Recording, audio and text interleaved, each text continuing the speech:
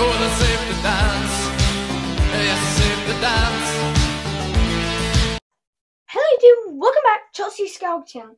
Today, I have a big package. Before I give it, get into it, I have this book. It's our favorite book, and what's inside of it is on this book. Let's see if you can figure it out.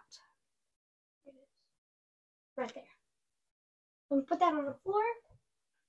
Let's open it, and it is from Kevin. Right. I'll just throw this behind us. So here we have the C3PO pin board right here.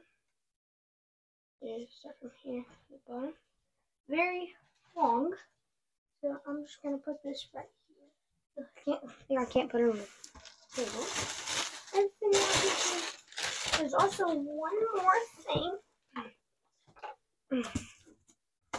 So let me throw this box behind me. Right there. Um, so here we have the case, this case. see what it looks like. It's a Star Wars one. Kenner, it's the Star Wars mini action figure collector's case. Action figures sold separately.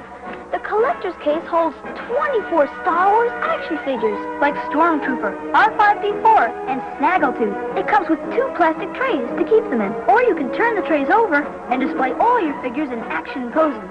You can pack up Star Wars action figures and take them with you. The Star Wars Mini Action Figure Collector's Case. Action figures each sold separately. From Kenner. Here. And this, I have no idea what that is. Um, so here we have this. Okay.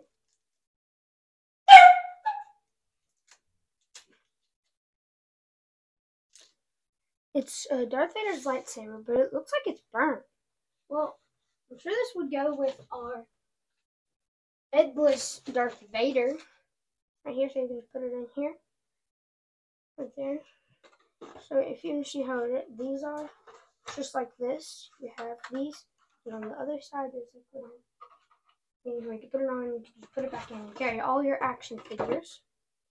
So I'm gonna put that. This is good for having your favorite action figures and some other your favorite action figures right here. So thank you guys for watching May the Force with you. Bye!